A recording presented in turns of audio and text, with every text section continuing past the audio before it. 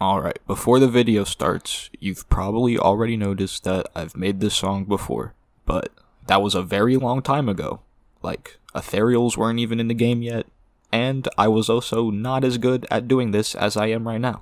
So I wanted to make another version that I can actually, like, go back and enjoy listening to. So, uh, yeah, I guess let me know what you think about it in the comments, and enjoy.